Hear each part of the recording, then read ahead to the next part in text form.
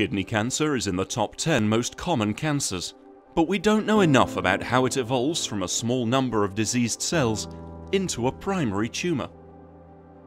In order for cells to keep growing and turn into a tumour, their genome needs to be badly damaged. This damage can slowly build up during our lifetime. If parts of specific chromosomes are damaged in kidney cells, it can create a seed for cancer to grow from. These seeds may be formed as early as adolescence and lie dormant for decades. Mutations in particular genes can awaken that cancer seed and it will then grow into a tumour. If the seeds acquire a lot of genome damage from the start, the cancer cells will have all they need to turn into a fast-growing tumour. This makes them very aggressive. When the amount of chromosome damage is low, the tumour grows quite slowly initially, because the cancer cells haven't yet acquired the ability to form a rapidly growing tumour. But slow-growing cancers can sometimes evolve into something more dangerous. Different populations of cancer cells can arise, and some of those can have more chromosomal damage than before. These subpopulations of the tumour will grow more vigorously.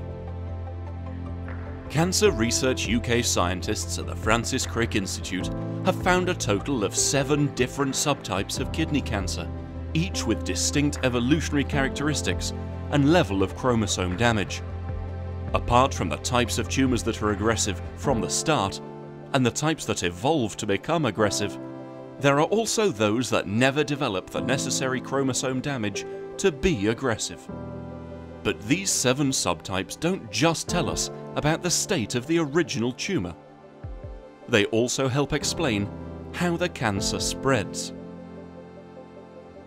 The tumours that have a lot of chromosome damage from the start grow rapidly and start to spread early on. They can go to many different places, including the kidney's blood vessels, the lymph nodes, liver, and lungs.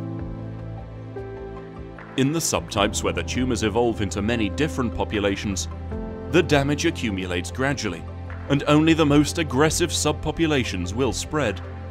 This means that the cancer spreads at a later stage, and often only to a single location to start with. The slow-growing types without extensive chromosome damage rarely spread, and can often be successfully treated by surgery.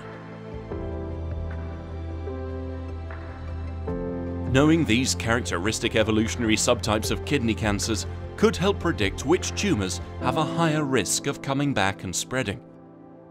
This exciting new research shows that understanding cancer evolution could potentially help improve the treatment of kidney cancer in the future.